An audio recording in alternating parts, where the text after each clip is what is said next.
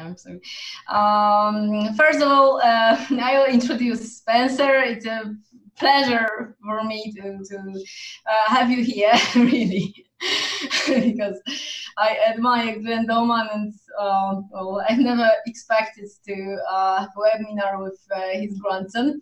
Um, uh, Spencer is uh, the Chief Innovation Officer and the Director of Cognitive Development um, Doman International.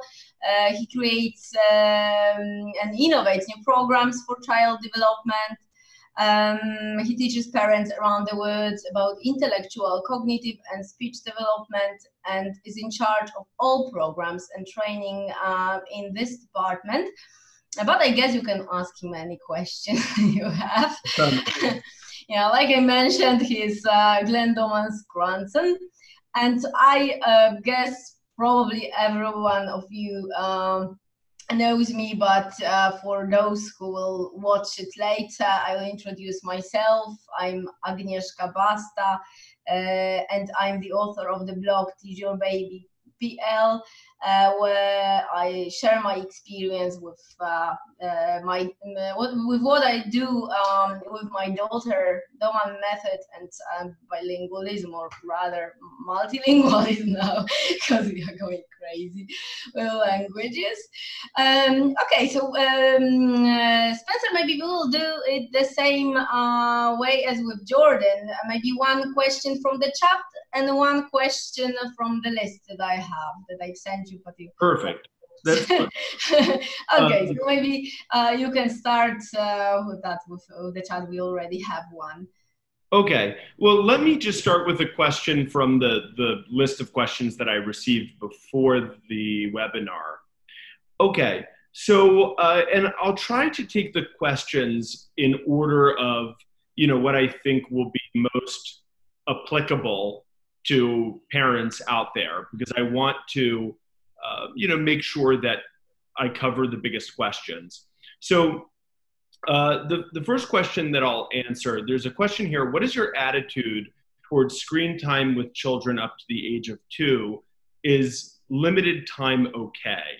Uh, so generally, I'll give you my kind of general philosophy towards screens. Uh, and that is to to try to avoid screen time as much as possible for children under two or three years of age. Uh, now, that being said, um, I don't think that screens by themselves are dangerous or or bad for kids. I mean, all, of us grew up uh, having some kinds of screens in our home, usually televisions, and some of us, depending on our age, uh, computers. And obviously, we've entered a new age now where uh, children can now hold screens in their hands uh, using cell phones, uh, you know, mobile phones, uh, and tablet devices.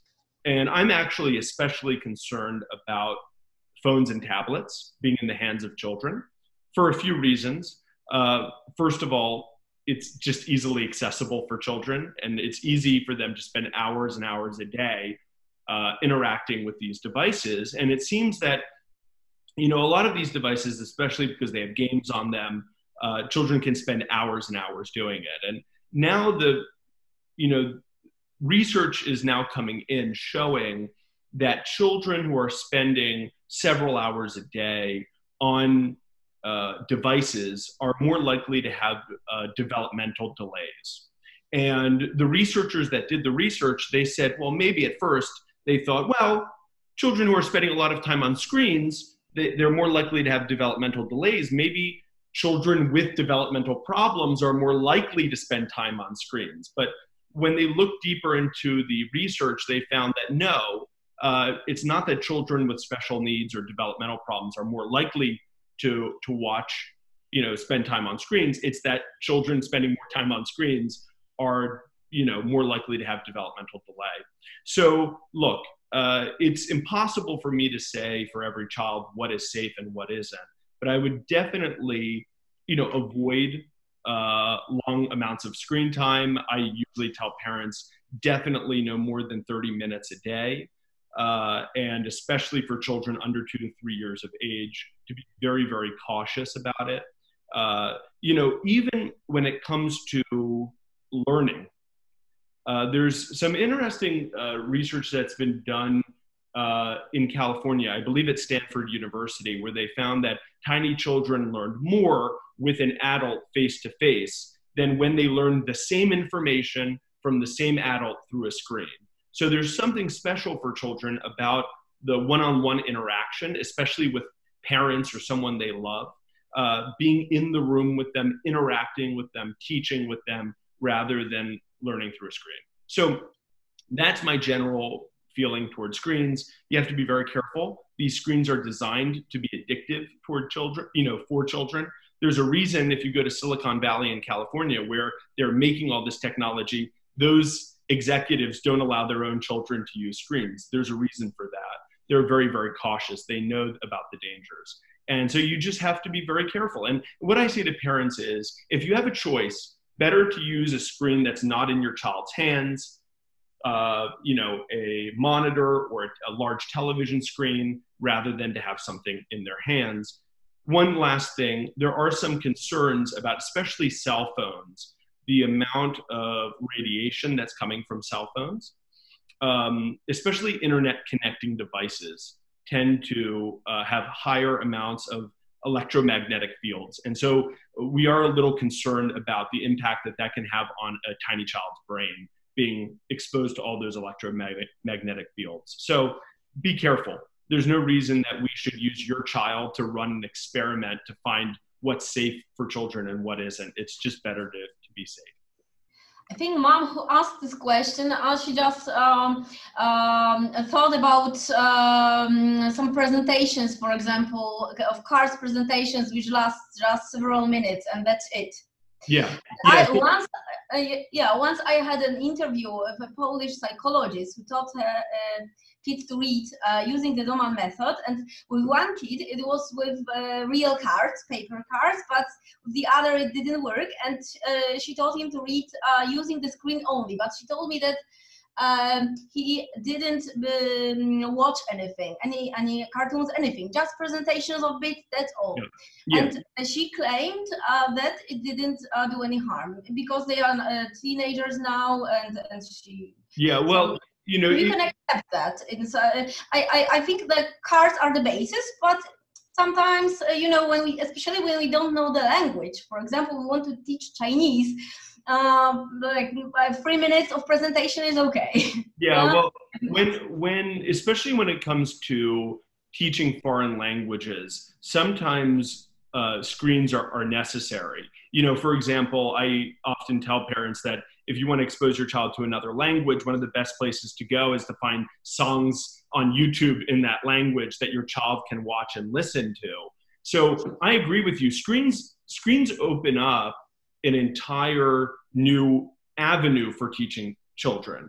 And you, what you you kind of described in your question is is a good question. You know, is a good point. where you said this mom had one child who was happy to do everything on cards, and another child who didn't seem to be that interested, and so the mom kind of adapted and used screens. Well, you know, even if you're doing like a typical reading program, let's say, where you're maybe doing 15 sessions in a day and each session is only five or 10 seconds, well, the child's exposure to a screen is very, very short.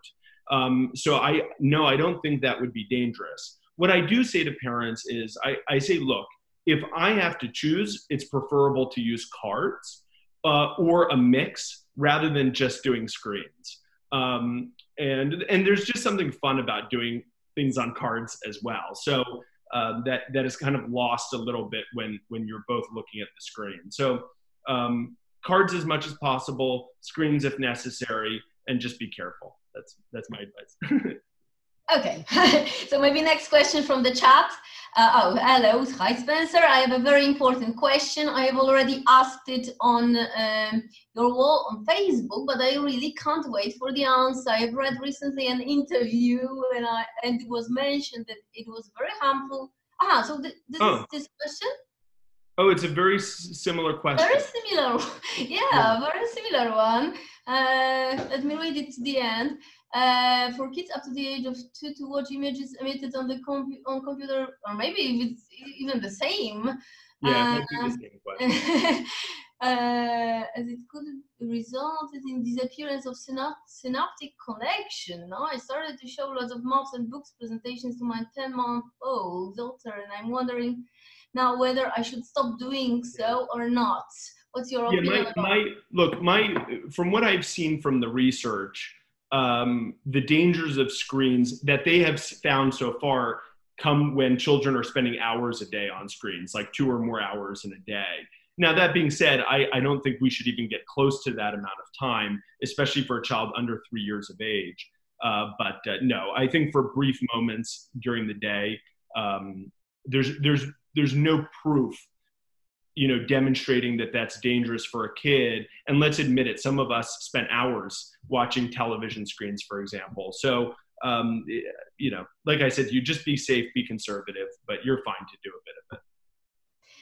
Thank you. And another question from the same mom. My daughter is 10 months um, old, and she started to stand by herself independently from age nine months. I can see she wants to walk. Should I assist her with fast steps, or should I wait uh, for her to try to walk by herself? Actually, can small kids learn walking without parents' help? I think they can. Yes. Yeah, the answer is yes. Small kids can uh, absolutely learn to walk without parents' help. And generally, our advice for mobility development is give lots of opportunity to move and actually try to kind of stay out of the way of your child's mobility development. So, in, in my experience, what your child needs to be doing is a lot of creeping on hands and knees, because that's very good for developing the lower areas of the brain called the midbrain. And you know, your child might also be standing and holding onto objects and furniture and kind of like walking while holding the furniture. We call that cruising.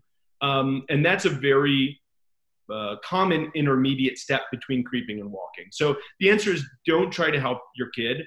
Uh, if she needs, if she's creeping on her hands and knees, even better, because a, a lot of the Doman method work uh, focuses on the importance of the steps in mobility before walking. A lot of parents think of, you know, I want my child to sit and then walk, but actually crawling and creeping are far more important, important mobility milestones than sitting. And uh, so you just want to have your child move as much as possible and no, don't, don't try to help them too much. Mother Nature will take care of the rest. Thank you. Okay, so as, as you've ordered the questions, I uh, questions I sent you, so you choose Okay. which next through the list. Okay. Um, let's go to. Okay. So there's a question here. I have two books for children aged one to three by Glenn Doman. Oh, I have to go for the book. I've forgotten about it. Okay, continue reading. Okay. The font is much smaller than he advises in his book about reading. Maybe I will show uh, nose is not toes to the camera. Oh, okay. I got this is your question. Um, Oh, Okay, I the show it because I was wondering about it. yeah. yeah. Uh, it's like that, and uh, Glenn Doman recommends uh, one or two inches. He, do, uh, he doesn't uh, say precisely, and Yeah. this is like this is like this is smaller. Yeah, that's maybe about a little bit more than one centimeter, something like that. one Um, and a half. One and a yeah. half. Yeah. measured. Yeah. Yeah. So, um, okay. So generally, when we start homemade books, we will begin with uh, a print size of about two to two and a half centimeters. Okay. So that that's just basically the beginner size. We find that's a very safe size to start with. Most most children are very very happy with that. That being said, uh, even that size that you see in nose is not toes, which is one and a half centimeters, um, most children that's absolutely fine. Uh, and keep in mind that when when we're starting homemade books, usually we're starting, you know, with kids over one year of age because obviously there are steps that need to be taken before you get to homemade books in the reading program. So often at that age, children children have developed enough vision to be able to tolerate that size. Now, there I, I would like to say there are two things you have to pay attention to with homemade books. The first is the print size. The second thing is how many lines are on a page. Okay, so the, the issue is that size might be perfect if there's only one line or maybe two lines on a page. But if you take maybe a small child and you're putting five lines on a page, it might be too much text on a page and they will kind of get lost with all of the text. So for that reason, you want to have big print size, but you also want to have only a few lines on, on a page. And no, but I think older kids may get bored with just one line. My, my daughter had a stage like that when book with one line was just for one time, and then she didn't want it. And when I put some more lines and maybe more even scientific information, uh, she brought it to me um, uh, several times or even more. So yeah, there there so there are two kind of important things you mentioned there. The first thing is the print size itself and then the, the second thing is the content what you're writing about. So the you know keep in mind you can have a big print size and also have very like sophisticated information in the book itself. The the most important thing is that when you're showing the pages of text you should see your child has visual interest in the page. So if your child is watching as you're reading then you're you're in good shape. It means the print size is large enough because children don't like to look at things if they can't see them clearly. So, but if, if you're trying to show your child pages of text and they're looking away, they're not interested, then it indicates that there's something wrong and that you might have to go bigger with print size or something like that. Okay, now question from the chat. Hi Spencer, thanks for taking time to be with us. I wanted to ask you why there are no uh, rights anymore for printing. For example, how to teach your baby to read. I've asked in publishing house and they said there were problems with buying the rights. I have bought several books uh, in, in internet, but I would love to be able to buy a normal paper version in Polish as a gift for everybody I know that has small children. Thanks a lot. So I think it's all about uh, the possibility of translating them into Polish. Mm, okay, it, it's a good question. I've never personally looked into the this aspect of publishing in Polish, I'd have to ask my father Douglas, who's more knowledgeable about you know publishing rights and all of that. Um, I do know that some of the books were published in in Polish some time ago. Uh, now they might be out of print. They're probably out of print now. Um, but I know I, am pretty sure. Uh, Aga, you probably know better than me. I think How to Teach Your Baby to Read was published in in Polish, but that was quite some time ago. So I'll for that question, I'll just have to look into it and ask members of my family and and see what can be done because I agree with you. I, I think that the books should be available in in all languages. Yeah, I think uh, just two or three are been translated into Polish and. Uh, the rest, you know, um, people who don't speak English so well, um, they they just. Well, certainly, if anyone knows any uh, any publishing companies that would be interested in publishing the other you know books in Polish, let let me know. And in the meantime, I'll ask I'll ask my father what what the situation is. Oh, thank you. He'll let you know. Um, okay, now, now maybe from the list, the question from the list. Okay. okay. Um, how long should we delay introducing numerals in math until we cover everything that comes to our mind with dots? Okay, very good question. So uh, essentially, what what I do when with teaching math, I teach the quantities using the dot cards, and then I teach all of the operations uh, or equations. I'm not sure what the terminology is in, in Polish using dot cards. So I would do addition, subtraction, multiplication, division and then also combined equations as well with dots. Once I've done all of that with dots, I would typically start numerals at that point. Because at that point you've really covered the most important things that should be done with dots. And also at that point children are usually ready to start moving on and getting to more advanced math. And so usually we start numerals at that Oh, so it's not necessary uh, to introduce, I don't know, uh, roots, logarithms, and things like that with dot and to be creative how to do it. you can, you can, but over time, I've actually gotten to uh, to presenting numerals earlier and earlier, uh, just because because I found that for many kids, it it kept their interest higher uh, by introducing the numerals earlier. Yeah, most most kids, I uh, I think they are interested in numerals and in letters. Yeah. I, I had to hide one one book because of that. yeah, exactly. no, um, if a baby creeps a lot but not cross pattern, is that good enough for the midbrain development? Similarly, if a baby creeps but not cross pattern, is it good enough? Ah, it's the same repetition. How uh, come it is possible that the child will, will not creep or crawl cross pattern, but in the end can walk cross pattern. Okay, so let me let me try to address this question in a, in a few ways. So uh, first of all, um, one of the, the most important aspects about any kind of, of mobility milestone, whether it's crawling on your belly or creeping on your hands and knees, is the cross pattern aspect because it these activities require both hemispheres, both sides of the brain, to work in coordination with one another.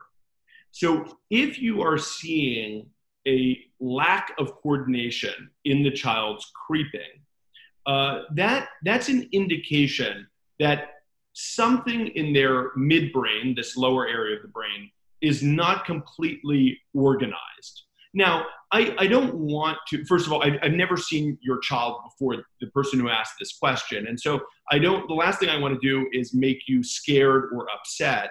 Um, just, you know, I, there are many, many people that I see uh, every day because, for example, at our Doman Method course, we have parents who are coming to the course and we tell them, please, you know, get down and crawl and creep.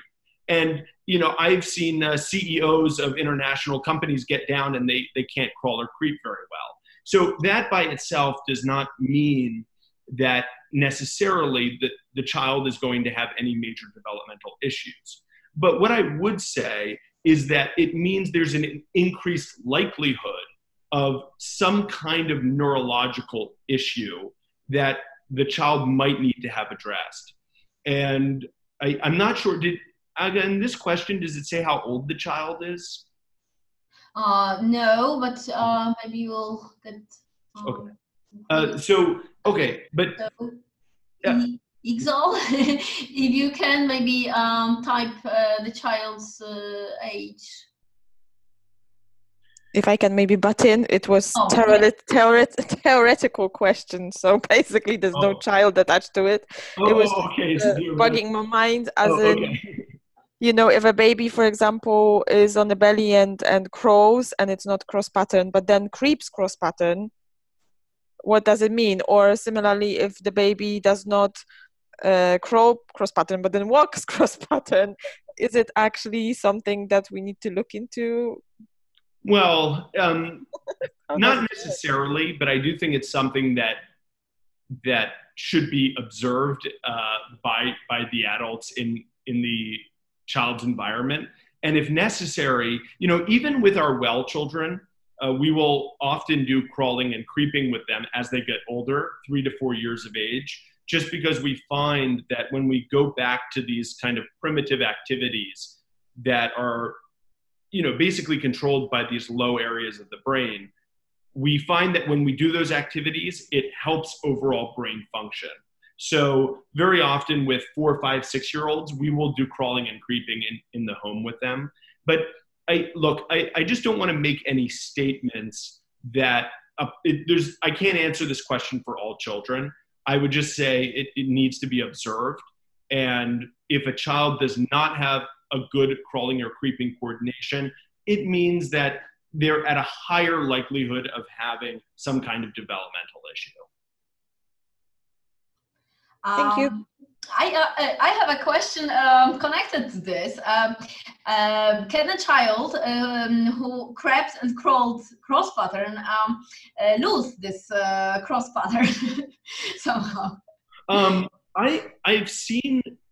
okay, so it, let's exclude the possibility of some kind of brain damage, right? Which would completely change how the brain functions. Um, I have seen some children who have not crawled and crept in a long time, and when you ask them to crawl or creep, in the beginning it's a little bit disorganized because it's almost like they it's it's been so long it's like they've almost forgotten. But usually, if you do it with a child, maybe over several days, you'll find that the coordination will get very smooth and will you know there you'll see the normal cross pattern come back oh so this happened to my daughter. Okay. Because, uh, uh she she uh, yeah she uh, crawled and creeped for a long time. Um, I, I wasn't aware of uh, this cross uh, pattern then but i think it was so long it was cross pattern and then uh, when she was two and a half, uh, she uh, just used one leg, uh, or uh, she, she uh, didn't bend the other. But she started creeping on her just on her own initiative when she was almost three, and after seven days, it was perfectly. yeah, yeah, that, that's like very. Jo- Jordan said it was um, not very um, synchronized, but cross pattern. So. Uh-huh. I think we can accept okay. So uh, next question. Um, choose it from the list, maybe. Okay. Uh, so uh, you know, I have a question here about the. it says, "What about the breathing program? Uh, is there anything else apart from the bag?" So, okay, this question is coming from someone who obviously knows about the Doman Method program for kids with special needs uh, because in our respiratory programs, we, we have certain programs that we will only do with children with brain injury or with developmental problems. And so they're asking a question about our breathing program, which is a major part of that program for, for kids with special needs. And to answer your question, yes, we have uh, three different you know respiratory programs that we use with with children. Uh, now, we purposefully, just to let you know, we, we purposefully don't talk much about these programs or even post uh, photos or videos of them because of child safety. Uh, we, you know, these are things that have to be monitored by a doctor and a physician. Uh, we're, you know, we're talking about children with, with health and developmental issues, and so we have to be very careful and responsible about what we share and post online. But the respiratory part of our program plays a huge role for you know kids kids with special needs. And so the, the answer to that question is yes. We have we have various different programs that we do.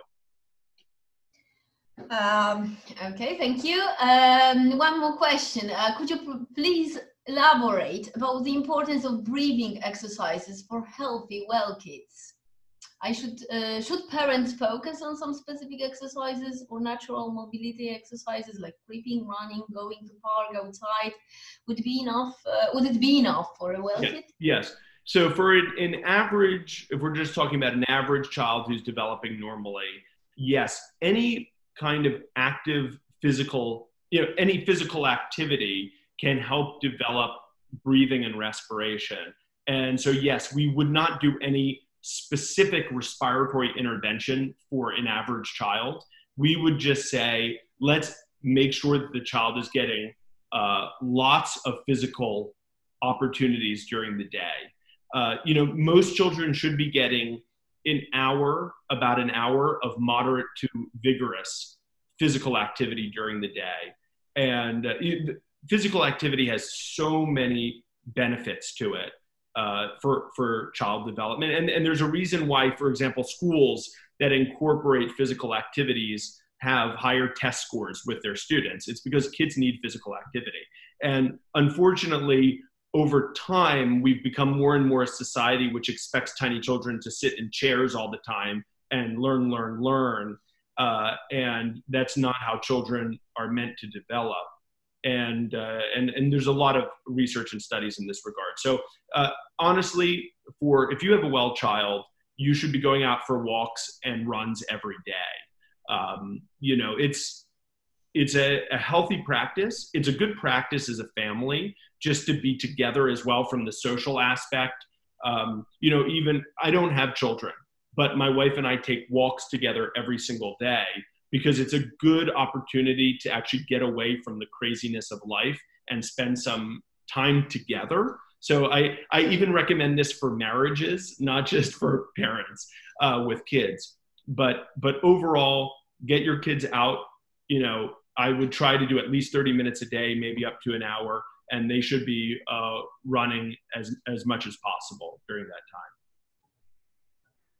Thank you. Now, question from the list. oh, question from the list, right? Okay, just like, mm-hmm. let's take turns. Okay. So, here's another math question. To what extent 30 months is the limit for dots when it comes to math? What are the chances that dots will work if we start with a three year old child or older? Okay, really good question. And uh, okay, so all, all I can do here is speak from my experience. Uh, I've never seen a child older than than four years of age who is able to to learn the quantities using the dot cards on their own. Okay. Now that being said, I, I, I always like to give like an extra piece of information. You know, there are many people in the world that ha- need to have the ability to recognize quantities as a part of their jobs, right? So, for example, if you followed a cowboy around, right, who has uh, 200 cows uh, and he's riding in, I don't know, the plains of, of Texas, uh, he will look at his group of cows and he'll know if one of them is missing. And, you know, so humans do have this very amazing ability to look at quantities and and recognize them if you have a need to do so and so if my I guess my short practical answer, if I had a child that was over 4 years of age, instead of doing the kind of typical dots program that you see uh, outlined in the book, I would work on quantities up till 10. And one of my favorite things to do with a child is using uh, poker chips. I go, when I say poker chips, do you know what I mean? Yeah, I, I think maybe I can show one. okay. Thank you. Yeah, if you have one, that would be great. Um, but I like to use poker chips because, like dots, they're symbolic, they're small, they're easy to, to handle. Okay, and and basically what I would do is I would sit at a table with a child. Okay, oh. you have one there. Uh, oh. Very nice. Oh, perfect. I get prepared. Good job. Um, I didn't expect them, but I just them. we play with them. so, for example, I would sit at a table across from a child. I would put maybe three poker chips in front of them, and I would say, you know, Lisa, that's three. And then I'd take away the three poker chips and I'd put five. And I'd say, Lisa, that's five. I'd take them away. Lisa, that's one. Take it away. Lisa, that's seven. And it's it's very similar to doing the dots. Uh, but I, have actually found that for older children, I think because it's something hands on, uh, it's something that uh, they can relate to, uh, it seems to be very effective in, in getting the kids recognizing quantities. And over maybe two weeks' time, three weeks' time, very often the children can do it themselves very quickly. So now parents can put five, and child looks and says, Five, good job, you know, three. The kid says three and parent says great job you know and so it can become uh, a very positive way of starting to teach quantity recognition. Math of, of any subject that you're ever going to teach your child math is very foundational. Uh, and if a foundation is weak in math everything above it will be weak right? So if a child doesn't have a good grasp of quantity uh, for them to learn operations, right? If your child doesn't understand what four is, it's going to be very difficult for them to know what four plus three is because they don't have a kind of grasp or understanding of the quantity. And just like subtraction is the inverse operation of addition, so if you understand addition well, subtraction is easy to understand, right? And if you understand multiplication well, it, division is easy to understand. So you really need to make sure that your child's foundations in math are very, very strong. And this is one area where I believe that the way math is taught in the East is much better than the way it's taught in the West.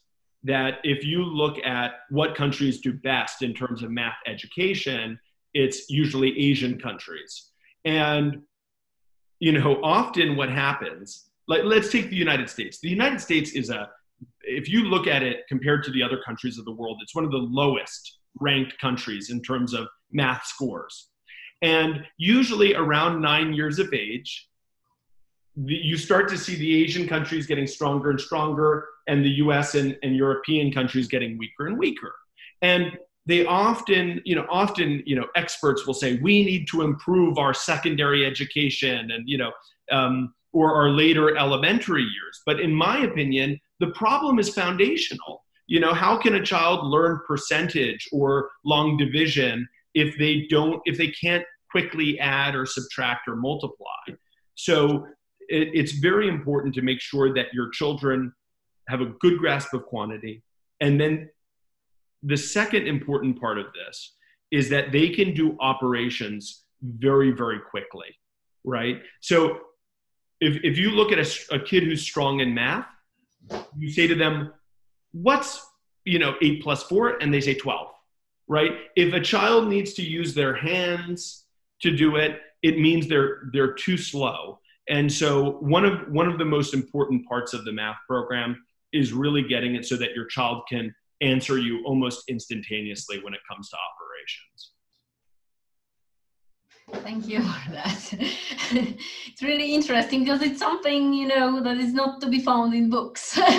yeah, yeah. Well, and and a lot of the things you know, I I have experience teaching uh, in early childhood education. So when I was teaching kids who were three, four, five, six years of age, I had to, you know, sometimes I'd see kids and I can see that they're just, even at five, they're still not confident with a lot of these simple things in math.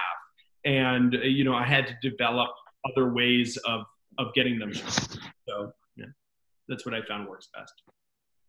Thank you. Um, uh, oh, I have a uh, hi Spencer. Thank you for your time. I have a question about uh, teaching twins. I started when they were four months old. Now they are 15 months old. Old. Is it better for them to separate them for the sessions or to do it together? Uh, it's of course, of course, difficult to learn to teach them together because they are moving a lot. But maybe it's better for them when we are learning together. What's your opinion?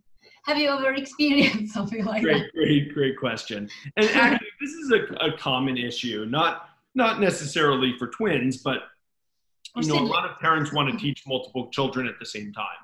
And the there are a few ways that we can try to address this. The general rule is that any child can attend a learning session in the household. The rule is they cannot distract the others. Okay? And I guess my advice would be to try to change the dynamics a little bit of how you're doing the, the program because you're right. If you're trying to get two children to be attentive and quiet at the same time and sit and learn, that's going to be challenging. But maybe if you change the dynamics a little bit, where you you uh, by the way aga does it say how old the children are because I, am trying to get uh, yeah uh, 15 15 now 15 months uh, but she started when they were four months Okay, so, it. So, uh, they're on the Doman method for uh, almost a year now. Yeah, so I, especially for older, let's just talk a little bit about older children. So if you have older twins, it's better to say, or older children, it's better to say, you know, mom or dad is going to do the a reading session now. We're going to look at names of animals. You can come and sit if you want. If no, go. But the rule is no one can distract during the session. And so that way the children basically have a choice. They can come and learn or they can come and do go and do something else. And most of the time children want to be involved. Most of the time kids want to be with their parents, they want to learn. They don't like to be left out. So if they see their brother and mom learning, they'll want to come and sit with you. Uh, rather than the other dynamic, which is you trying to get both kids you know involved at the same time so that that would be my first recommendation uh, and yeah so i think the best thing is try to do it with the two of them together. If it doesn't work out let one of the kids go and teach what you know the the child who wants to be there. And over time you know you'll find as the kids get older and more mature they will both want to to be there with you keep in mind also, 15 month olds want to be moving all the time. So it is challenging. You know, their brains at that point, they're really focused on mobility development. And typically, 18 months to three years of age is a challenging time to get children to settle. They want to move a lot. And you shouldn't feel bad or guilty if it's difficult for you to get them both sitting at the same time. Thank you. Glenn Doman writes about uh, the age between 12 and 18 months as the most challenging. so yeah. maybe it, it has changed. I experienced that it stopped being challenging for me to um, get my daughter focused uh, on the cards uh, when she was um, almost two mom two years old. Mm-hmm. Yeah. Um, yeah. Yeah, it's true. Even for some kids between 12 and 18 months is, is a difficult time. Uh, but yeah, typically 18 to, to 36 months are the most challenging. And also, um, interestingly, those are also, that year and a half is also the time of the most rapid development of children. Like if you look at an 18 month old and a three year old, they're completely, like two completely different human beings uh, speech is developing, comprehension, uh, mobility. The child starts running during that time. So they, they become much more capable individuals. They just, they need during that time a lot of physical activity. Thank you. Okay, now maybe you choose the question from the list. Oh yeah, my turn again. Okay. Um, here's a question. A four month old baby has been having a special program with a physiotherapist once per week due to rigid muscles and asymmetry. Uh, in addition, Shantala massage is used. What does the Doman method suggest in such cases? Another question regarding the same baby. When he lies down on his tummy, his hands move sideways and he lies down like a and he lies down like a frog. He gets tired and nervous quickly. Okay. Uh, th- this is this is a challenging question, just because I've, I've it's a very very specific question, and I've never seen this child before. Uh, it, if you want like a very kind of general answer, um, you know, we a few things. First of all, uh, we do have an online course for you know parents of kids with special needs. Uh, it's called the Doman Method course, uh, and I, I, highly recommend it for the parents of this child. It, in the course, we talk about a program called the Inclined Floor, which is a special environment which is set up for children who uh, have developmental issues and who are unable to crawl. So I, I think for this child, they the parents of the kid really need to to take that course and start the interventions that are recommended in the in the course. Because we with a situation like the one you're talking about you, we don't want to be patient. You know if, if a child has some kind of developmental problem they require a physiotherapist already um, let's do as much as possible for the kid. And typically for a child with a neurological problem if you put them on their bellies it's very difficult for them to learn how to crawl because they don't have the you know neurological ability to coordinate their movements or the strength ability to coordinate their movements to move forward on the flat floor. And so for that reason, putting them on an inclined floor allows gravity to help them begin the process of, of crawling. So now they're kind of crawling down a hill, which is much easier on a smooth surface than crawling on a flat floor. So I, I would recommend to, to take the Doman Method course. You can also read the book if you're able to read in English. There's a book called Fit Baby, Smart Baby, Your Baby, uh, written by Glenn and Douglas Doman, which is all about uh, physical development of tiny children. I would also recommend that. And uh, as far as I know, there is also a course uh, in Italy with the Polish translator. That That's right. Yeah. So yeah. we yeah. So yeah, we because I'm not sure um, if this question was from the mom who just couldn't uh, be here, or maybe from mom asked yeah, That's right. We also do a live at at because we have a center outside of Pisa, Italy, where we do the Doman Method course, the same as the online course, but we do it live. And we've had Polish translation in the past. And believe it or not, uh, uh this was before my time, but in uh, the 1990s, there were times where we were filling entire rooms just with Polish parents to do the course. Uh, that's what my parents have told me. Once they did it for 200 Polish parents at a time. Yeah, I, I, I guess uh, one boy mentioned in Glenn Doman's book, uh, Tom, Tomek Luński. Mm-hmm. Yeah, he, he was he was Polish, and he showed me that, yeah. that uh, kids can read or something like that. Yeah. I, I read it a long time ago, so I don't remember exactly, but. Yeah. Uh, okay, another question. Uh, are you or someone from the institute planning to visit the UK for the conference in the nearest future, preferably London? Uh, currently, there are not any plans to, to do any lectures in London. Um, I would be more than happy to come to any location to do a lecture.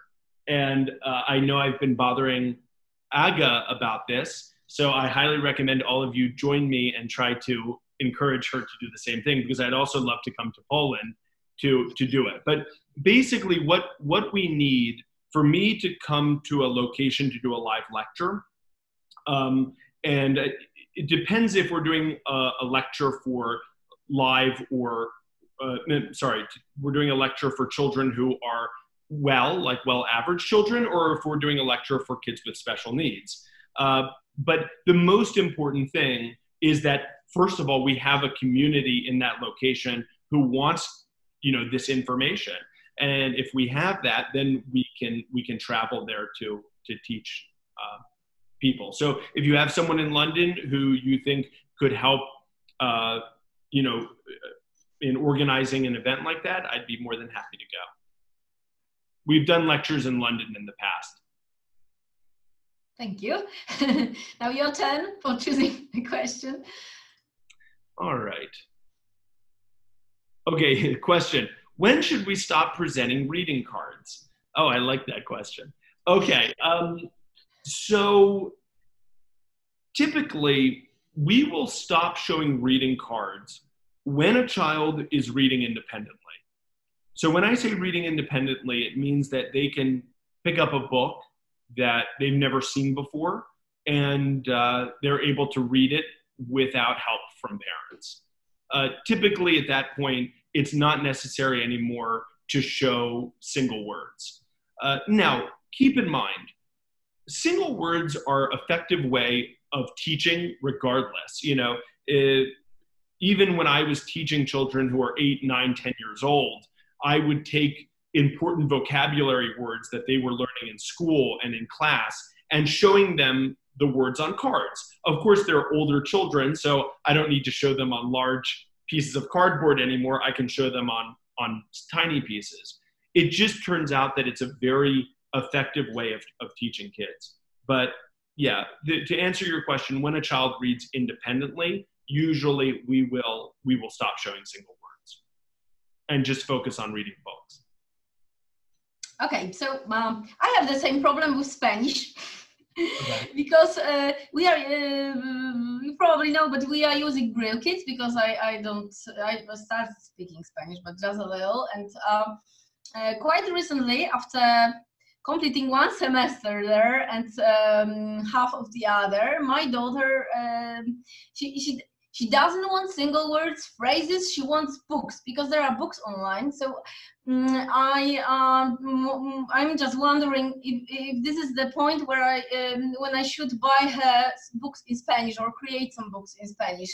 Because she uh, she just wants me to skip everything else. She doesn't, well, it, doesn't want it yeah, anymore that's that's quite typical because you know sometimes children are just like no no i just want books now no more words. That, that what you're mentioning is, is quite common. And what I will usually do for children in that situation, I'll say, okay, we'll do books, but you know, because we still need to, you know, keep working on your reading, before we read a book, I'm going to show you the words you're going to see in the book.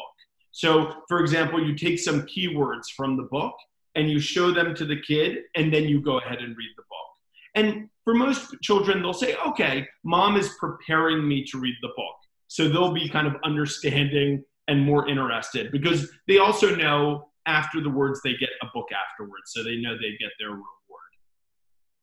Okay, thank you. So I'll try that because you know this is a, a fourth language uh, in the reading program. yeah, I, I, I don't really know if if she can she can surprise me uh, from yeah. time to time. Um, and there are some um, uh, problem solving opportunities, but when she wants. Uh-huh. Sometimes she chooses uh, the word, and she's three years old, so she tells me. Well, but they, they say choose choose uh, gatto, and she says, uh, but why not perro? And, and she chooses the, the other one. Uh-huh. yeah.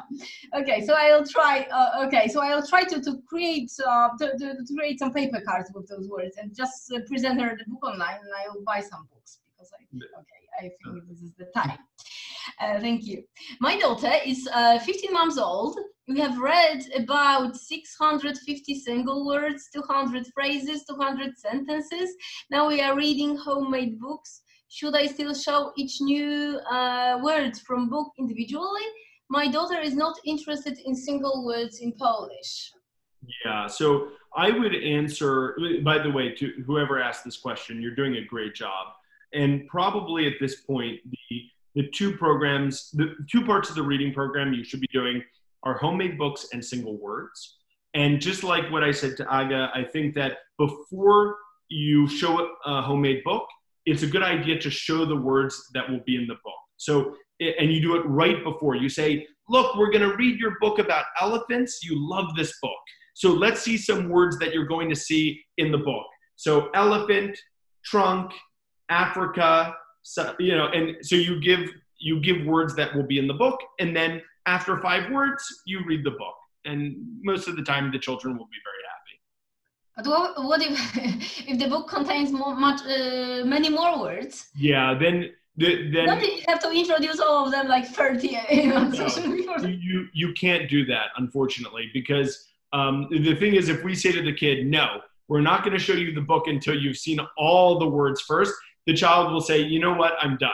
So we, we have to we have to work with the child. So uh, yes, and by the way, uh, some parents ask me that they say, "Oh, I cannot show a homemade book yet because I have not shown all the words that will be in the book." And what I say is, look, don't be a perfectionist. If there are some words in the book that your child hasn't seen, don't worry about it because the, the more important thing is that we need to keep your child really loving the reading program if your child doesn't like the reading program, we're not going to get any results anyway. So, um, you know, homemade books are the soul of this reading program. It, and a lot of parents focus too much on single words and not enough on books, but books are the real heart of, of the program and where we get our success. The single words are just a support. Thank you. And uh, one more question from me about the reading program. Can we believe a three-year-old who says, uh, this is the, the, situation with German cards. Um, uh, she, she, says um, uh, something like, uh, "I know." After the second presentation, maybe she says, "I know this, these cards. Prepare new." And and uh, when I prepare new ones, she looks. but is it is it possible because this is you know we have so many languages and and she can say something like that. No no not these cards. You have to prepare new. it's very possible yeah that that she's uh she's learning them. And uh yeah it, you know if, if you want now that she's three you can start to get more active with the program where you can start playing games with the words where you say okay let's play some games where we match words with pictures or something like that. So that way she starts to have an opportunity to kind of actively use the program because some some children yes they can learn to read words very quickly and they don't need it and other children maybe they're just they want to move faster with the program, so they tell parents that. You know, so um, by doing active games with them, where we say, okay, let's match words with pictures, uh, or let's put out some words and find one word that does that's not in the in the category. So you put out three animals and you put one word which is you know um, an object or something like that, and say what word doesn't belong. So you can play different kinds of games with kids where it's more active and they're not just sitting and passively getting the program. Oh, thank you. This would be very useful for our German because I don't speak it at all, and I just presented. She she knows some words because she um, we use something that is called Little Pim, and the, the, there are some elements of reading, so she knows some some of them. But um, most of the words are completely you know um, just words for her, and she doesn't know the meaning. Uh-huh. So maybe with pictures, she'll get the uh, get the meaning of, mm-hmm. of them. And exactly. Because she uh, she says, for example, that this and this is a grapes in German, and I have to use the dictionary. Yes, really, really, it's grapes. So uh, kids are amazing, but it's hard to believe, really, still yeah. after so many, so many years of doing that.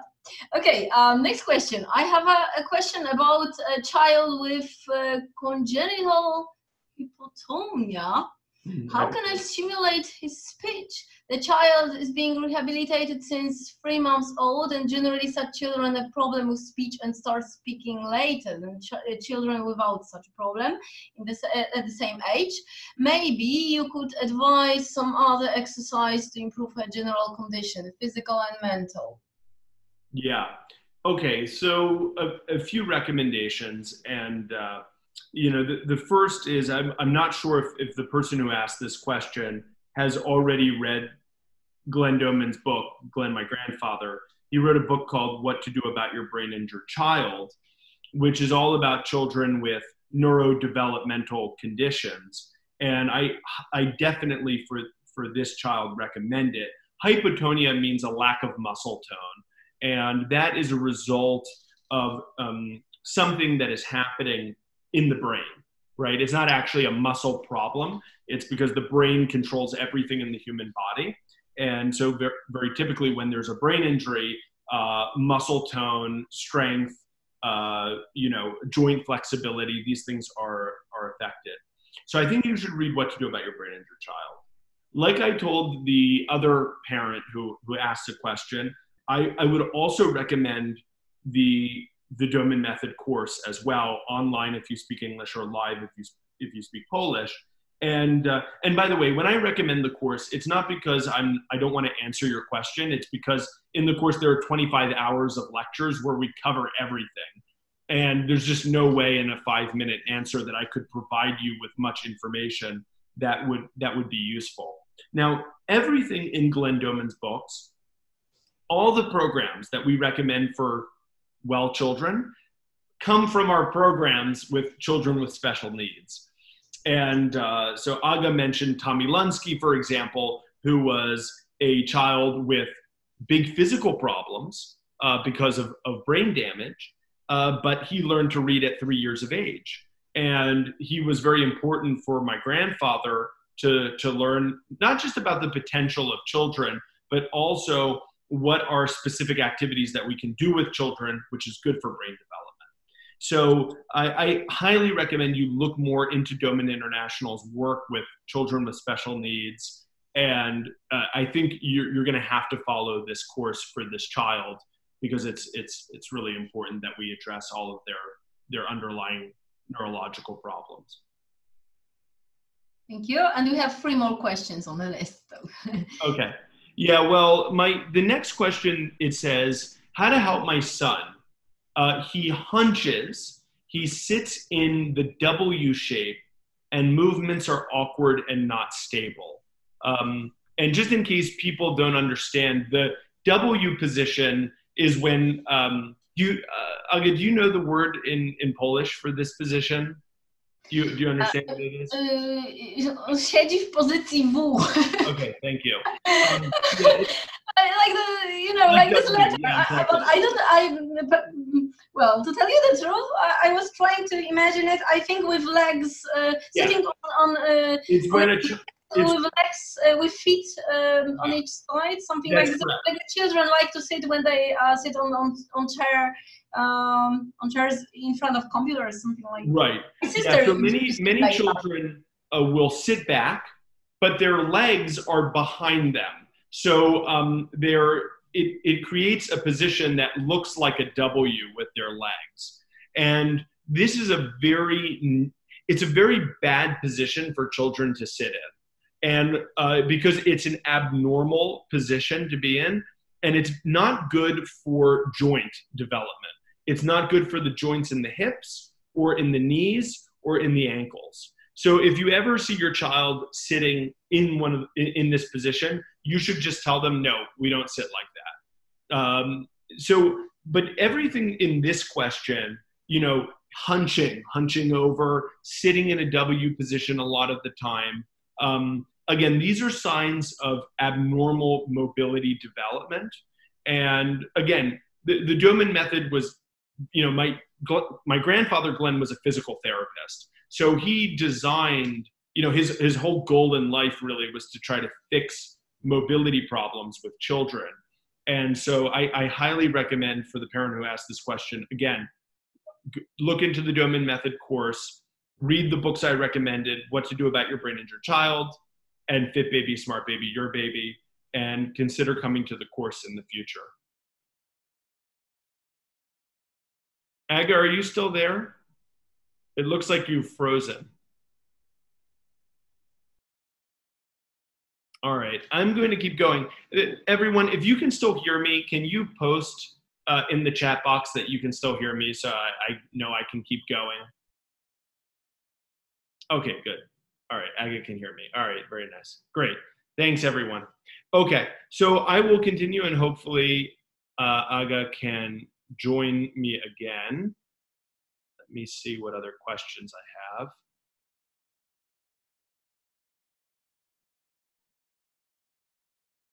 Hmm. Okay, I'm not seeing any more questions here. Let me go to the chat box. And let me see what other questions are here in the chat box. Okay, so there's a question here. Could you please give us more examples of problem solving games for the reading program? I am not a creative person. Okay, yeah, so I gave examples before in case you missed it, about matching words and pictures and uh, also trying to find the word that doesn't belong. Uh, so you put out some words and one word that doesn't fit, and you ask the children to do it. Uh, another another option is to do things like you take words that are activities, like uh, kick and uh, stand up and sit down. You know, and, and you say to the child, "Okay, pick a word and then do it." So the child points to kick and they go and kick, you know, and then they point to something else and they do it. So doing activities that uh, relate to the words are really fun because children like to be active, they like to be mobile. So the more you can mix those activities together, that's a really good idea. Um, what else? Okay, taking a, a category of words, right? And you say something like, You love elephants. Elephants are your favorite animals. I'm going to show you some words. And when I get to elephant, you shout stop. So you show the words. And when you get to elephant, you know, the child says stop. You say, good job, you found elephant. Let me put that down. Oh, and you really like the giraffe. Can we find giraffe? Tell me to stop when we get to giraffe. So doing activities like that, where you're, again, actively having the child participate is really, really good. Uh, there, you can really you can do so many things like taking single words and you put all of the words upside down so the child cannot um, you know cannot see the words and you hold up a picture so maybe you hold up a picture of uh, you know television and you say okay let's see if you can find this word so they flip over one word, you know, and they they flip over the words until they find the word television. So again, it's an active way of them connecting the pictures with the, the words. As much as possible, when you can connect images with words, it's a very good way to keep a child engaged in, in the program. All right. My internet connection. oh, you're back. Very good. We got worried there for a second. With my phone, I used up all the internet on my husband's phone. I'm sorry. I'm sorry for that. okay, so wh- where are you now? Have you finished? Okay. on- So I just a- answered the last question um, about uh, you know more examples of problem-solving games for the reading program. So I answered that, um, and I guess somehow when you got kicked off, I lost access to the document with all the questions. So I think there was one more question there. Do you Uh, have it there? The last. Um, yeah. Uh, so you you've already said something about social development. Oh no, I didn't answer that. No. Okay. Okay. So okay, I, I haven't lost the document, so it's okay. But I can't see the chat. I didn't Yeah, know. so there there was one question about social development and is there any place to read about the Doman method and, and social development? And inter- interestingly, uh, it's it's like the one topic that the the Doman family has not yet written a book about, and it's uh, at the top of the list of priorities for us to do. So, uh, but no, we, we, there's no place yet where you can like read up on our our rec- you know our recommendations for for programs. Um, so yeah, uh, if you know may, maybe we could do a whole webinar just about social development, and I'd be happy to do that in in the future because it, it's such a important topic for children. Um, you know, for for me, and maybe this is a surprising thing for parents to hear me say, uh, especially because we talk a lot about cognitive development and physical development and health. But for me, social development is one of the most important areas of development because it, you know what? If a person is intelligent and physically fit and healthy, but they're not mature or they're not kind or they're not likable, um, they're not going to live a very happy life. Uh, and and so I've I've over time I've become very very passionate about you know how to raise children who are mature and capable and kind and and so it's it's a very important topic and uh, and maybe we have to do another webinar just about that sometime. Okay, I'll make a note of that. Okay, I've lost um, part of the chat because um, um, so maybe you can you can read the next questions from the chat, and I have one more here. Sure. Um, okay. Someone asked the question Can we make a single word book? I introduced new vocabulary in the form of books with single words, then two to three word sentences, and a picture with every sentence. The, the answer is absolutely yes, you can do that. And if you have a child who hates words for whatever reason, some kids are like that. Um, the best way to do it is to do a homemade book just with single words, where you have one or two words and a picture afterwards. And for most children, that makes them very happy, and you get your single words into the program. Next question. Um, yeah, the last one from the list. So, uh, my daughter is now two years old. While I was pregnant, I came to know about this Doman program. I got interested. I was not able to buy all the books they published. Uh, I bought only math reading program books. After delivery, I was not able to do the program properly with my kid. She's uh, two years old. Um, up until now, I was able to finish only 50 dot cards, lots of personal uh, reasons, my health, depression, family issues. This is a very long question.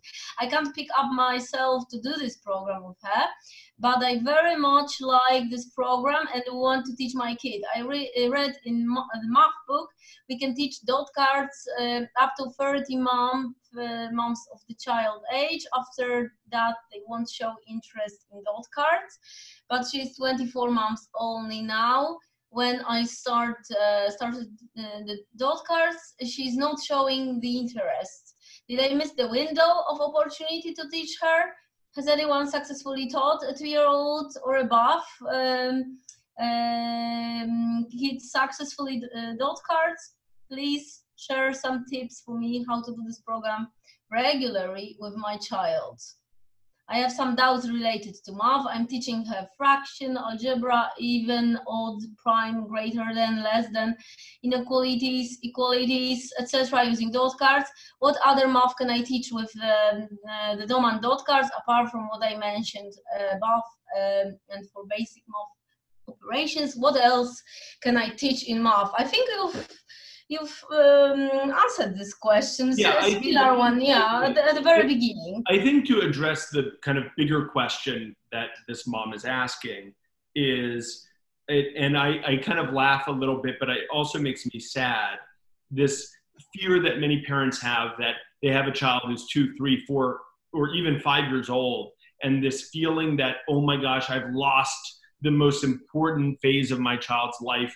There's, I've, I've, you know i'm a terrible parent you know this this uh, and you know i i i always tell parents um there it doesn't honestly of course it's best to start as young as possible with the child but most children that are exposed to the Doman method program don't start at birth. They start several years into life when parents happen to learn about the program. And for those children the results can be exceptional as well the, the other thing that I, I say to parents, and I think a lot of people don't take this very seriously, but I think it's very, very important. If someone asked me, what's the number one most important thing about the Doman method? Uh, is it the reading cards? Is it math? Uh, I would say it's none of those things. It's how we speak to children. And, you know, a lot of research now shows that children who grow up in homes where parents speak to them with a large, rich vocabulary, that those children have much larger speaking vocabularies themselves. And that is, a, that is one of the greatest gifts that you can, can give a child. Uh, because if a child has an excellent grasp of their own language, or even better, other languages, um, it, it just provides them with a huge advantage in their life. Yeah, so to give you one example of this, um, so I, I, have a sister-in-law, my my wife's sister, and she had a a son, very very young, and she knew all about the Doman method because, of course, my wife and I are, are passionate uh, users of it. But because she was very young and she had a child, she had so many other issues in her life she had to focus on. And so, honestly, doing reading cards, doing the math program, it was very, very difficult for her, and she only did a very tiny amount. But my nephew grew up in an environment with a family who really respected his intelligence. And you see, if you're a parent and you know that your child inherently is brilliant, uh, the way you speak to your child, the way you interact with your child automatically changes. And that provides such a huge advantage for for a kid. So for you know, for example, now now my nephew is eight years old, but intellectually and emotionally, he's so far beyond other children his age. And it's of course we did some bits of intelligence, we did some reading words and homemade books, and that's nice. Uh, but uh, but it's really because of how the adults in his environment interacted with him. And so if, if I would say anything to this mom, I would say, calm down. Everything's fine. Uh, make sure, first and foremost, you speak to your child in a way which is respectful and make every moment you can into a teaching moment. You know, my, my grandfather Glenn used to say that he said, the magic is not in the cards, it's in the child. And so um, if you think of your child as this individual who just wants to learn everything about the world, you can be in any place and find a way to teach your child, right? Uh, you can be walking outside and talking about the different dogs that you're seeing while you're walking and the different flowers. And even if you don't know what they are, you say, you know, look at that beautiful flower, take it with you. When we get home, let's go and find out what it is. And it, it it creates an individual who has this open mindset toward learning and who has a genuine love of learning and that that's the greatest gift that you can give your kid that's even better than single words or dot cards It's my favorite quote. The Yeah. magic is in the, in the. Yeah. But still, I, I, I sometimes uh, get stressed that I, uh, for example, now I in the evening I feel better, but during the day I, I just there are days now uh, when I don't do anything apart from speaking languages. Yeah. and I, I feel guilty because I haven't presented any German words, for example. This is crazy. yeah, th- yeah. I think that, and by the way, I think that's very realistic. I'm sure that if if you asked my own mom, who did the program with four children, she would say something very similar. That, and and by the way, I, I also like to say that it's a part of parenthood, but especially for mothers, to to feel guilt about what they're doing. So I I work with the the most devoted and wonderful moms in the world. I mean, the mothers I work with, especially with mothers of children with special needs, you will never see such amazing parents in your life. But every single parent, in one way or another, feels guilt. It's just a reality, you know. Even my own parents, who are the greatest parents in the world, you know, I, I can see sometimes if I say, sometimes I make a joke, you know, like I. Here's a good example. So my mother did the most beautiful program with me and my three siblings. And I was having a conversation with them recently, and I made a joke to my mom. I said, Oh, you know, when I went to other children's birthday parties, they were so much fun and they had balloons and all those things. And, and I said, You know, at my birthday parties, we never had any of those things. It was like a cake and that's it, you know.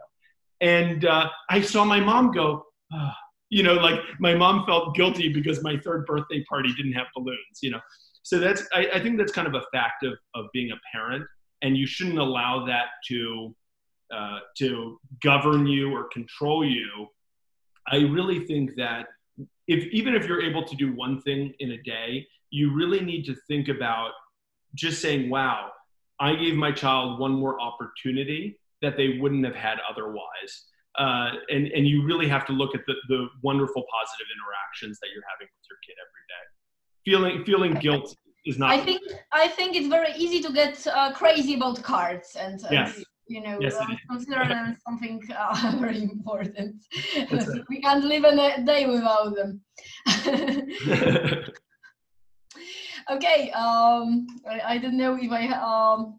Uh, so probably next question from the chat, but I uh, yeah, well, there's a question here. Why do some babies and children develop faster and others slower? Is there any impact on future overall well-being? So, absolutely, kids develop at in in different ways uh, and in different speeds, and uh, and you know it it's not necessarily anything major or, or to get concerned about. For example, girls typically develop speech earlier than boys. You know, it doesn't mean anything, uh, you know, serious uh, developmental issues about boys. But but what we what what is important is that there are overall, let's say, guidelines about when children should develop certain developmental milestones. And in almost any book written by the Doman family, you will find something in the book called the developmental profile, which is it's a, a profile that shows the important milestones in different areas of development and the age that the child should have those milestones. Now, some children will develop them a little faster, some a little slower, and that's absolutely fine. But if you know if a child is going on and on and they're not reaching those basic milestones at a specific time we need to start getting concerned and start focusing on improving their development and that's that's why we've created you know programs for for kids with developmental problems Okay, thank you. And maybe next one because I, I, I think I can't see those that were before I disappeared.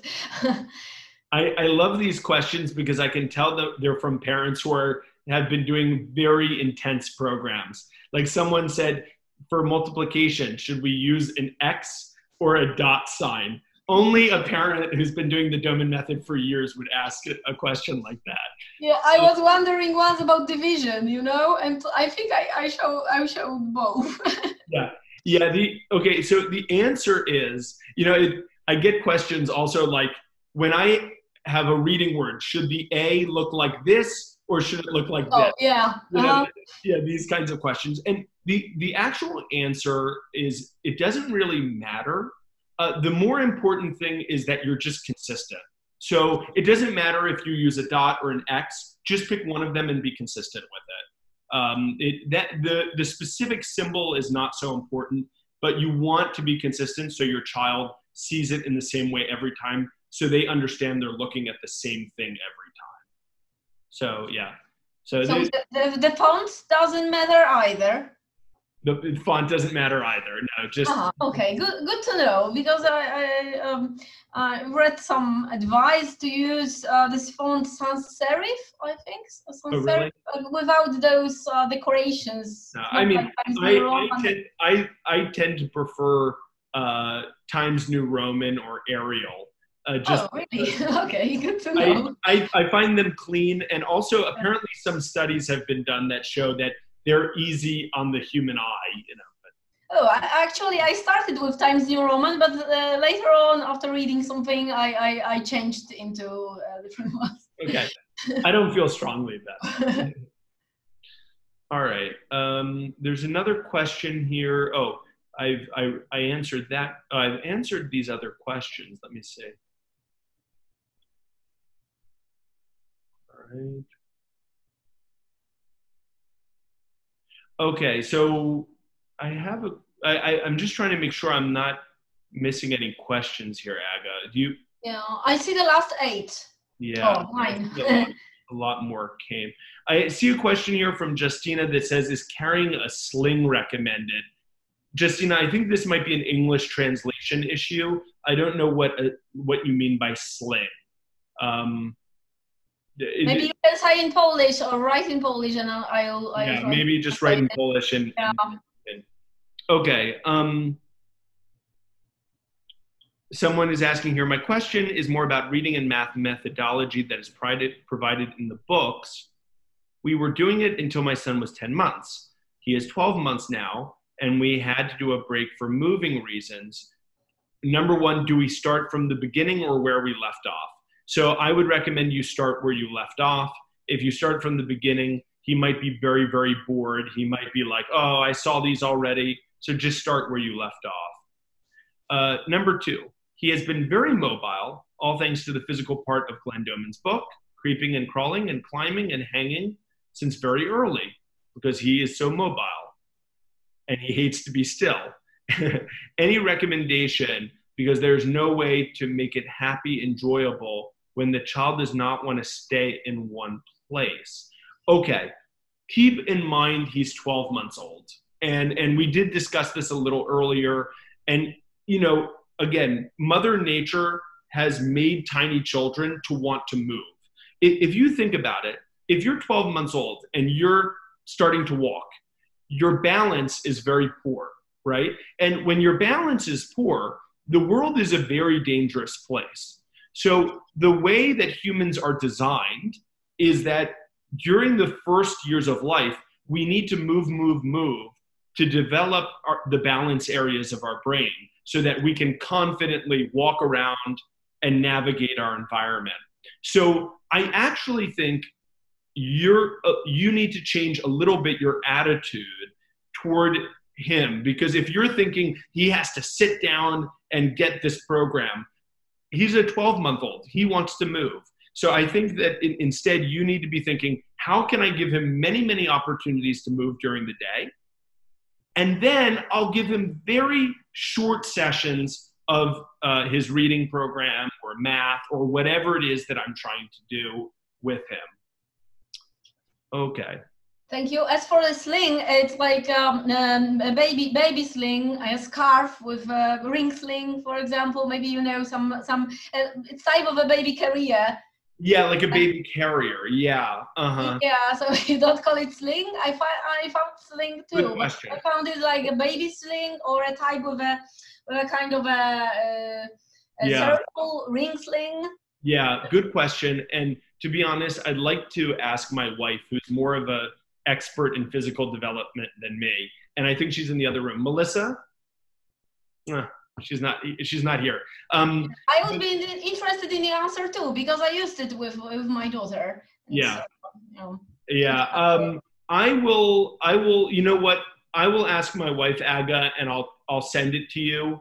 Um, I think they do recommend a certain kind of carrier for children that's that's the most natural in terms of you know just body development. But I, I need to ask them. It's I'm a cognitive staff member, so some of these fine details I, I don't know.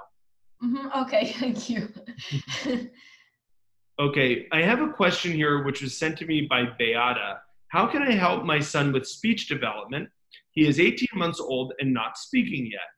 We've been doing the reading program for six months now.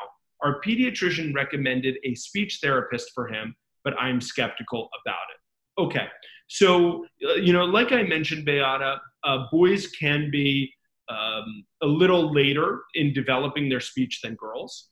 And interestingly, one of the reasons why is uh, boys actually we we use fewer areas of our brain when we speak than than women do. It's why women tend to have larger speaking vocabularies than men.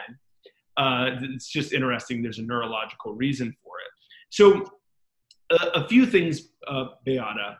Uh, first of all, I have an entire free webinar on YouTube called Enhancing Speech Development for Kids with Special Needs. And I, I highly recommend you, you watch it because I give some activities that you can do at home for speech development. So that's the first thing you can do that's very easy.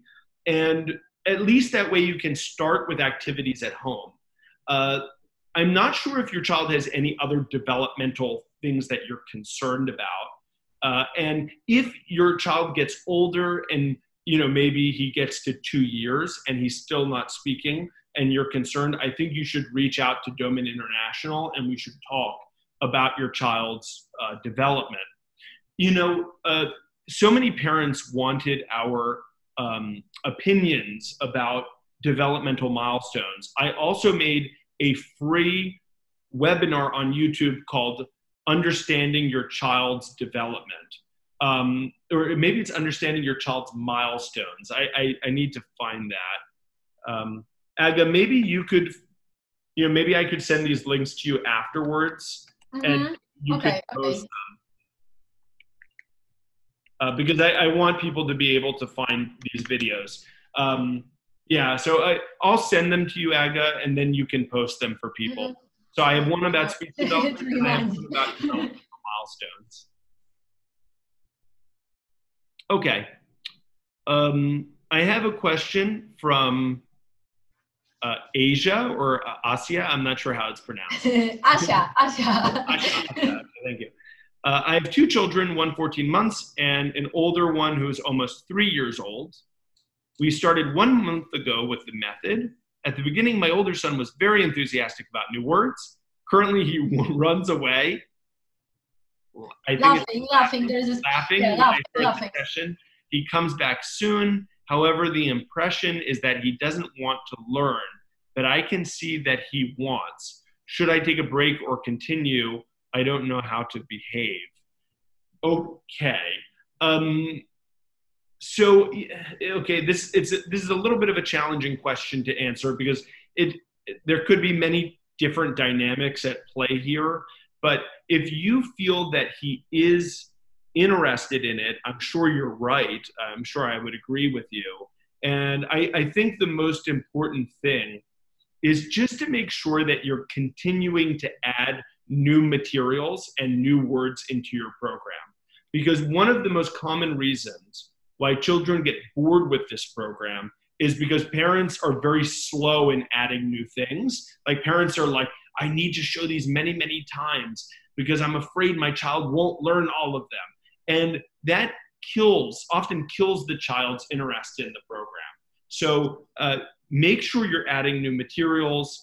Um, make sure you're following the guidelines in the reading book about how to add new materials and get rid of old materials. Also, make sure that your sessions are very short. remember, sessions should be five or 10 seconds long. If you're having long sessions, that might be the reason why he, he wants to leave. Thank you. And I, I think I, I can see uh, the other question. So I'd love to teach my three and a half year old boy reading or maths, but he has special needs, Lamb-Shaffer syndrome, and hardly speaks. What uh, should I do? Plus, do you think uh, an MRI is necessary for children with neurodevelopmental delays? Yeah. Okay. So this is a, again, it's um, I just spoke about my webinar for children with you know for helping language development. So I recommend that for this child. Uh, I look the issue with MRIs is that MRIs will show you if there's structural damage to the brain, but it doesn't actually help people very much in recommending treatment for the child. So even if uh, the doctor finds your child has some damage in the brain, they won't necessarily change their recommendations because of the findings. And what, what I would recommend for you is, uh, you know, again, looking into the, the Doman method programs for kids with special needs. Um, I, I can definitely see from what you've written that it would be helpful for your son. And I'd recommend you, you, you consider the Doman method course and read What to Do About Your Brain Injured Child by, by Glenn Doman. Thank you. Uh, another one. If a child reads or started to learn how to read using one of the traditional methods, is it still possible to introduce reading a program using the Doman method? Absolutely. Absolutely. Yeah. So when sometimes parents are even concerned, they say, you know, my child maybe is has learned to read somewhat in school. Uh, they've learned letters, they've learned phonetics, you know, can they get the Doman method, you know, side by side with what they've learned in the past? And the answer is absolutely. If anything, it will only help their reading ability to start the, the Doman Method reading program. So, yes, the answer is yes. uh, what um, if the child asks about the letters and is really interested? Um, should we answer, or I yeah. don't know? Yeah. Sure. Yeah. Yeah. If your child, you mean if the child's like, "What's that letter?" or something like that? Yeah. Uh-huh. Uh-huh. Yeah. yeah tell them. tell them. I mean, look, we, we believe in honesty with children. So if they ask you a question, uh, you know, we recommend to give them the answer. So absolutely. And by the way, it's very typical for kids around three years of age to just start getting interested in things like letters and numerals uh, because kids tend to be interested in symbols. And uh, so, you, yes, you should tell them if they ask for it. Okay, thank you. I was a bit worried because my husband provides so, and, and I know that she knows she even can write some words on the computer. good, good.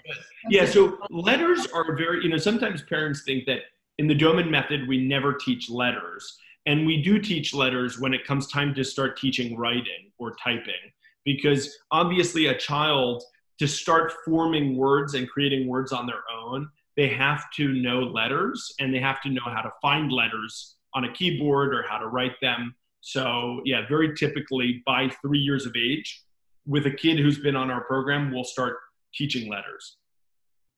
Mm-hmm.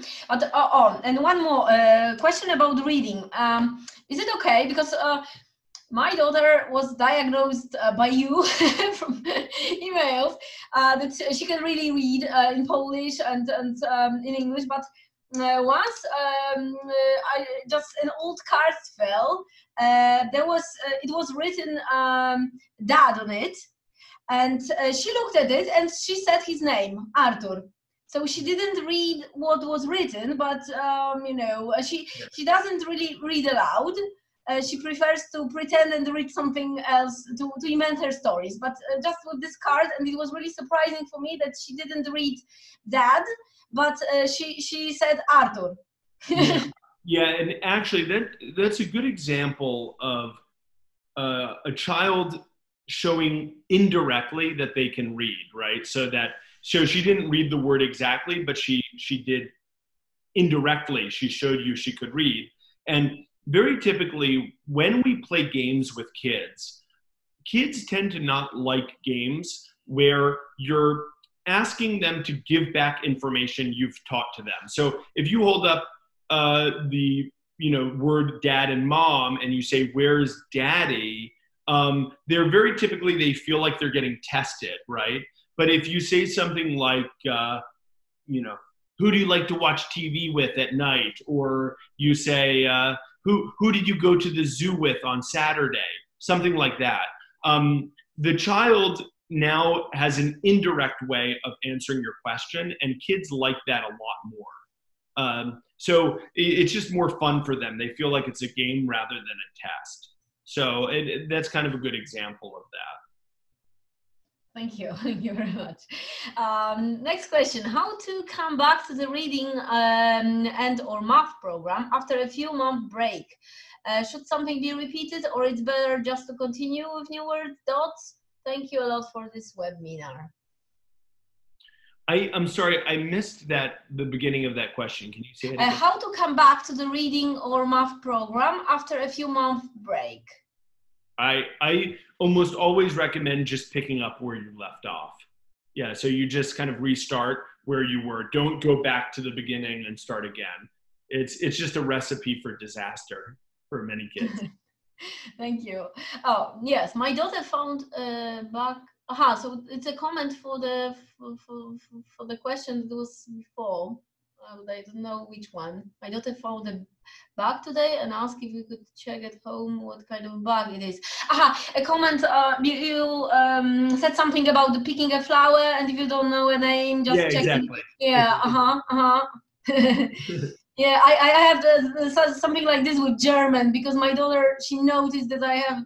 I, it's really difficult for me to grasp this language, and she always asks me, "What is that in German? What is that in German?" And I always say, "Oh, wait, I, when we get home, I will find on my phone." Or yeah. well, you know, my uh, you know, my grandfather Glenn used to say that children ask brilliant questions. They often ask the same questions that the greatest scientists in history asked. You know, they'll ask you questions like, "Why is the sky blue?" You know, or uh, "Why is the grass green?" And uh, a lot of adults are like, ah, you know, like silly question. Well, is it a silly question or is that actually a brilliant question? You know, uh, why is the sky blue? You know, and so uh, I think just it's an important attitude to always say to your child, uh, you know, that's a great question. Let's find out the answer to that. You know, let me make you a homemade book about that. Uh, rather than saying, "Oh, that's silly," you know, who cares? Uh, or just saying, "Well, it, it's blue because it's blue," you know. No, it's not. You know. So uh, yeah, have have fun with that. yeah, we're having fun. Aga, maybe we can, you know. Aga, maybe we can do three more questions. Uh-huh. Okay. Are there any types of toys or equipment for babies, children that you would not recommend? I know about baby walkers, dummies, pacifiers, and screens. Is there anything else that may be harmful to the child's development? Oh, so she stole all of my answers. Uh, yeah, was, I was going to say baby walkers, pacifiers, screens.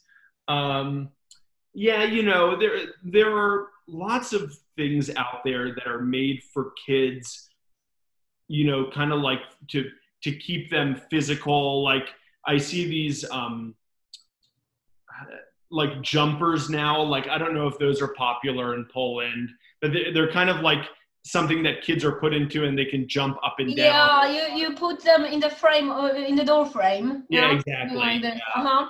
Mm-hmm. Um, things like that. You know, even play pens, you know, like environments that are enclosed. Of course, sometimes you need to have these environments you know, if you need a second or two to do something, but children shouldn't be spending long periods of time in that kind of enclosed environment because we want them to move as much as possible. So, yeah, I, I think anything that stops movement, we would definitely not recommend.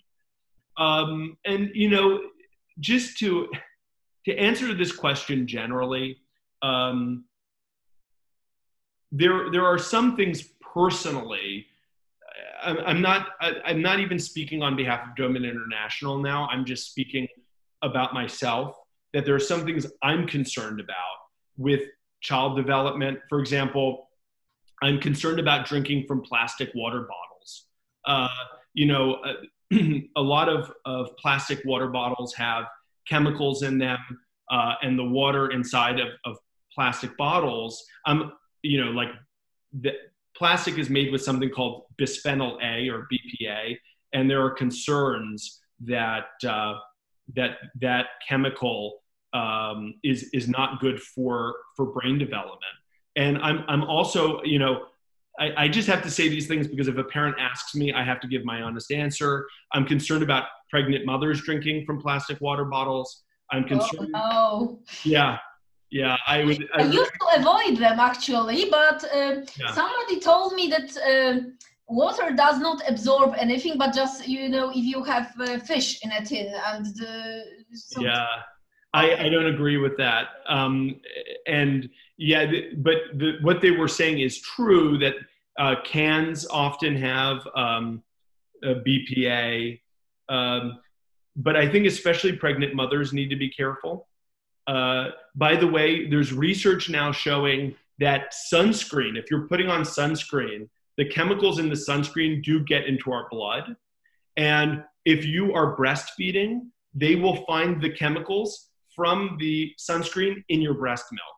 So, you know, you know, so there, there, there are all kinds of things that I am concerned about. Now, I, I do want to say that if you were a pregnant mother and you drank from a plastic water bottle, it doesn't mean that your child is somehow harmed forever. But I, I think that when we look at the population as a whole, there are some children and some mothers that maybe because of their own physiology, they might be more sensitive to certain factors than others. Um, so yes, I, am concerned about that. I'm concerned about pesticide use. Um, so there, there are unfortunately many things that I'm concerned about. So, but I, you know, I just recommend to be as careful as, as possible. But what about natural sunscreens? Are they okay? Because I use only natural cosmetics. Yeah, yeah. So definitely natural sunscreens are much, much better. My wife and I use a, a natural sunscreen. Unfortunately, I don't know the name because she. she it makes you white, but. I think she buys from a, a, company called Green Goddess. I think that uh, I think that's what it's called. It has natural sunscreens. Thank you. Oh, a long question. Uh, uh, but I think you've answered the first part. Can we make single word book? Yes, of course. I introduce new vocabulary in form of books with single words, then uh, three two-word sentences and a picture every uh, every uh, sentence. It's okay. You've already said about it. I think this mom jo- joined yeah. Uh, mm, later. Could you please give us more examples of opportunity solving games for reading? Oh, I, I answered. I'm not a creative person. I, I answered that one. That was when you were you were out. Yeah, ah, okay, okay, ah, okay. All of it. I did, yeah. Yeah, all of it. Okay, the end. So there are just uh, it's my free guess, but I think you still wanted. Ah, okay. Uh, my son does not like, even recently, hate balance activities proposed by Doman he was accepting them in the previous months. However, uh, it's going worse and worse. He's 12 months old, and I wonder why it happened. Yeah, and I'm not sure why he stopped liking them. It could be many reasons. Maybe there, he got scared during one session. Um, you know, one important thing that everyone needs to remember in the in the book Fit Baby, Smart Baby, Your Baby, it talks about the importance of a neck collar for babies when doing those activities because you don't want your child's neck flying around. So, first of all, just make sure um, that if you're doing balance activities with an infant, that you're using the neck collar. Um, but I look, I don't know why your son stopped enjoying it. Maybe he just doesn't like the the feeling right now of being held. So honestly, if he if he's having that strong reaction against it, I would stop it for a few weeks and I wouldn't even talk about it with him. Uh, if there are other children in the household, brothers or sisters, or cousins or friends that come around, do the activities with the other kids and let him watch it. Many children, when they don't want to do something, when they see other children doing it, then they want to do it themselves. So I would recommend stopping, do it with a few other kids, and then he'll probably want to do it again. Okay, thank you. And I just remember I have one more question because I, I forgotten to write it down from Instagram.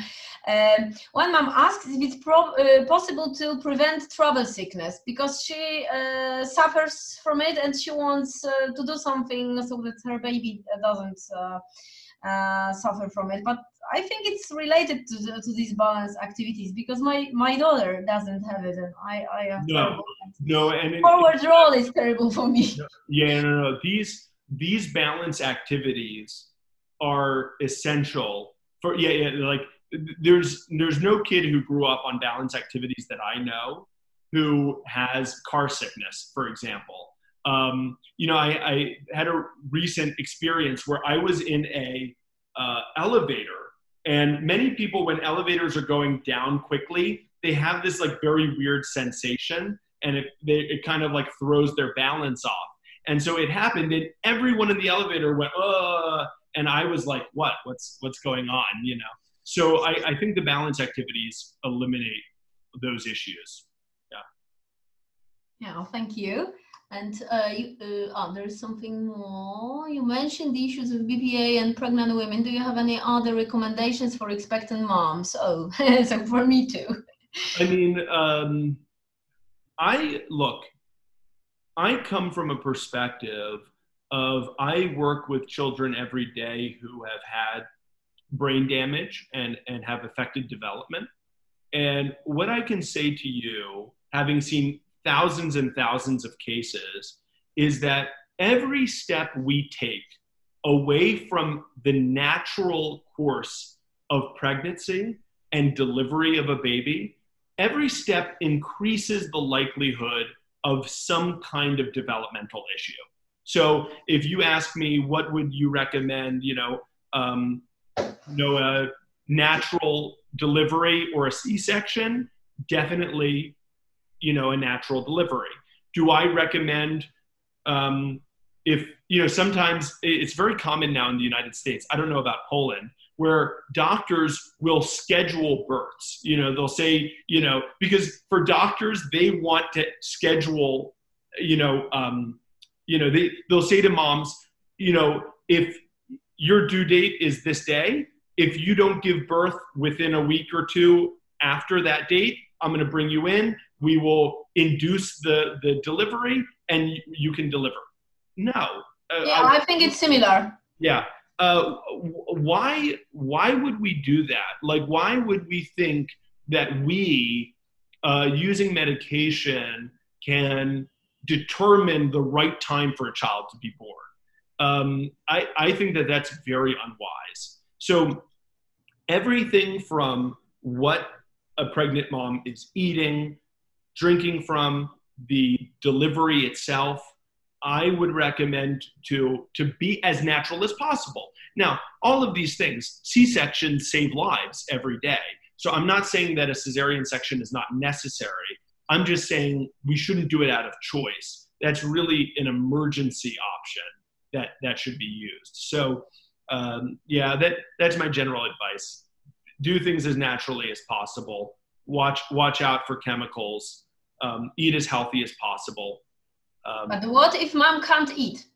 Because, you know, for the last two weeks, I, I just force myself to eat just, you know, anything. Yeah, well, you know, um, nausea during pregnancy is often a good sign. So don't don't be so worried about that. just try to find the food that will that, that you can eat and, and Okay, thank you very much. Thank you for staying more than 90 minutes. sure, of course. Yeah, no, it's my pleasure. And I saw one comment about mineral sunscreens are safe but not nano. Thank you for that information. I, you know, I need to look into it myself. Um, Melissa, yeah, I think, I think, she's right because what, I, I my my wife came into the room, so I'm going to ask her, what's the sunscreen that you use? Green Goddess. Green Goddess. So I was correct about the the brand. So maybe you can ask her about this baby sling you have a specific like sling or carrier that you recommend Whoa. for parents? The problem is, is that the one that we used to recommend, they don't make anymore. Yeah, the ones that the one we used to rec- recommend, they don't make anymore. Do you is there is there specific design that you recommend? The, the more important thing is that Um, here, I'll just- Yeah, my what here? She's coming. Hello, Oh, hello, hello. This is Melissa. Hi. Manga. when it comes to a, so this is for babies. Yeah, babies. yeah, for babies, like baby sling or ring sling, uh, like a like a huge scarf. Yeah. So there's, Is it, there's is it okay to carry a baby in this or not really? Well, look, there's lots of different models. The more important thing is that um, you find something where essentially you can put baby on your hip and keep their back nice and straight. It's actually better for you to hold them on your side. Um, this is good for, for hip development. It's good for the back as well.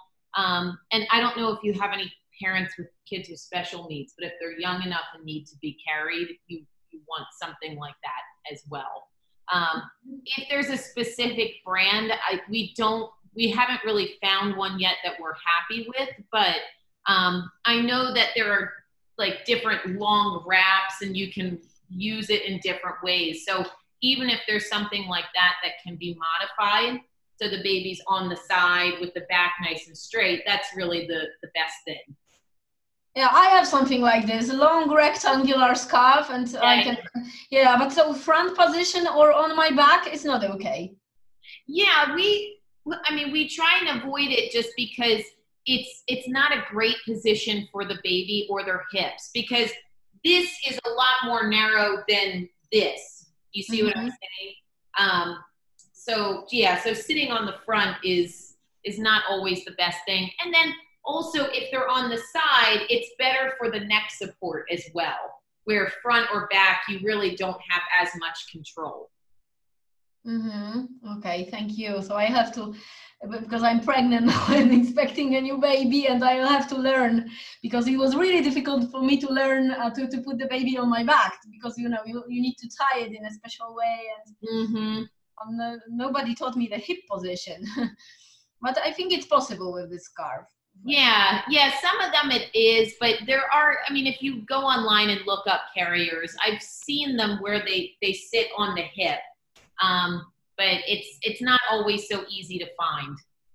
hmm Ah, so they are ready made, and you, you don't have to tie tie them. And, Yeah, yeah, Mhm. yeah. There there Mhm. are they do exist. Yeah. So okay. So this was not my question actually, but other moms. Of, uh, yeah. But but thank thank you very much. and I guess this is the last one. yeah. Raspberry seed oil is also great as a sunscreen. Oh, that's interesting. I learned something new every day. Yeah, so new. Yeah, I have to test it because I use those mineral filters, but you know they make you white, and uh, Yeah. well, look a bit strange, but it's better than chemicals. So uh, thank you very much. Sure, my pleasure. I, I hope that the session has been helpful to everyone, and uh, and I look forward to doing them again in the future. yeah, me, me, me too. And I hope uh, you've managed to record it. Yes, I, I think I have. I think I have. So yeah because if you manage to record it i can i can uh, post it and share it and then um uh, well um, uh, start tr- translating it Mhm, mhm. well Okay, I, I hope that after maybe two or three weeks i will feel better and uh, will be able to do it because with the other webinars i you know uh, i'm a working mom uh, so I, I just didn't have time for that and and um, the webinar jordan was translated by by one dad Mhm, mhm. uh, I haven't published it yet because uh, somebody else needs to add subtitles and so on. But uh, Sure. it, it'll take time, but uh, there will be a Polish version. Sure. Okay, sounds good. All right, thanks so much for having And me. I survived. Yes, you did. Great. Okay. All right, it's been a pleasure, everyone. Bye bye. It's, been a pleasure for me too. Bye bye. Thank you very much again.